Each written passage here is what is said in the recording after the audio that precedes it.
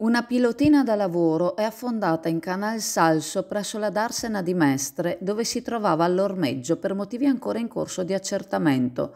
Per metterla in sicurezza sono quindi intervenuti i sommozzatori dei vigili del fuoco ieri mattina verso le 10. Gli uomini hanno prima provveduto a sollevarla dal fondale con l'aiuto di palloni, provvedendo poi a imbragarla e a sollevarla con l'autogru in dotazione al reparto dei vigili del fuoco. L'imbarcazione, di una lunghezza di circa 6 metri e con un peso complessivo oltre i 20 quintali, è stata quindi svuotata dall'acqua per poi essere trainata in un cantiere nautico per le riparazioni. Le operazioni di recupero dei vigili del fuoco sono terminate alle 14.